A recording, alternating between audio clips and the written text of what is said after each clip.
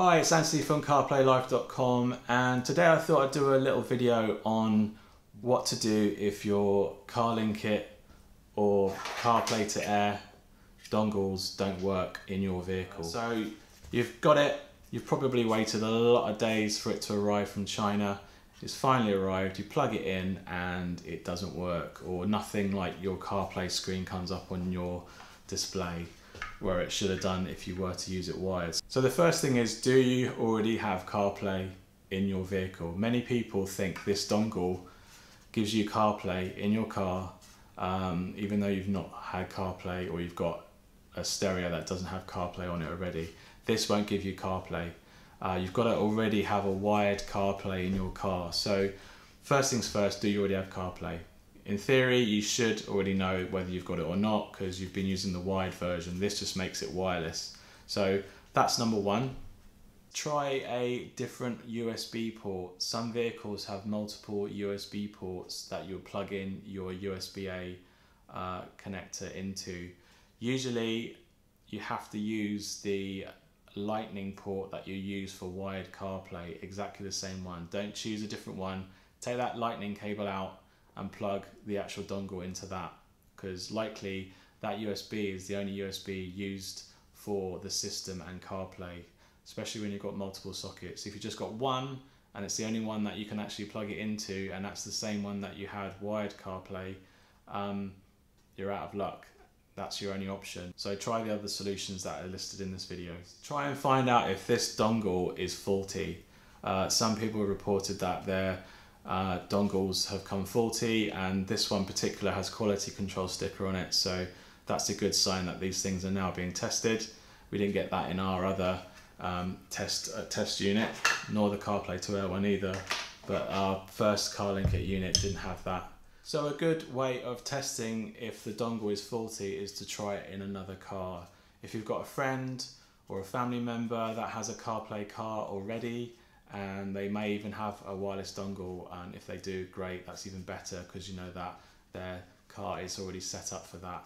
But what you can do is find another car that has CarPlay and plug it in. So not everyone's got friends with car CarPlay enabled vehicles. So another one is that you could go into a hardware installer or a, um, a dealer a car dealer that you can actually then ask them nicely to go in there and plug your dongle into their cars um, another one is uh, like an audio car installer where you've got lots of banks of um, CarPlay stereos. A lot of them have a uh, normally a lightning cable um, on the display units, uh, which is a problem because you can't uh, take the cable out. But some have a USB socket that you could plug the uh, cable into uh, and try and, and try your dongle on, on some of the aftermarket stereos there. And just basically what you're looking for is when you plug it in, you will notice that that turns red and that means there's an error uh, with the dongle and the actual system it's trying to uh, operate with.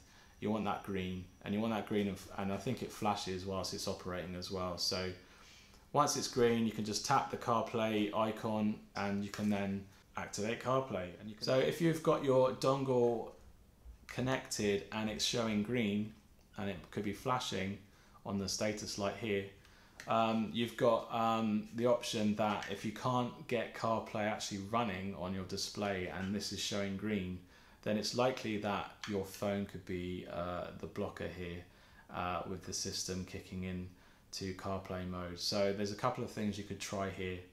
Uh, do a reboot of your iPhone uh, and um, see if that helps. Try someone else's iPhone as well and see if um, uh, that connects. But usually, if that red light's flashing, it's not a problem with the iPhone, it's a problem with the dongle and the receiver that you're plugging it into. So you need to get this green at least um, for your phone to even recognize it and make it run. So if it's still red, chances are that this dongle doesn't work with either the systems you're plugging it into or the dongle is faulty itself. So go to the manufacturer's page and see if your vehicle is listed. Now the problem is is vehicles can be listed but they have many different systems inside the car that are different per year. So even though the vehicle might be listed and its year, different specs have different systems installed in it, and um, some dongles might have worked for some people with the same car as you, but you might have just a slightly different model of system inside that this dongle doesn't work with. So bear that in mind as well when you're either purchasing or trying this out on either your or other people's uh, vehicle. Another addition to the CarLinkit dongle specifically is try a different cable. So if you've got a spare USB-C to USB-A cable, uh, try and find another one of these. Um, there's a lots of um, smartphones and devices now that are USB enabled and they will come with a USB-A socket.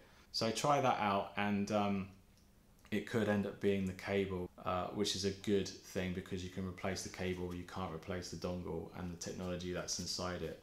Make sure you've got all your Bluetooth and Wi-Fi profiles that are connecting to your car removed.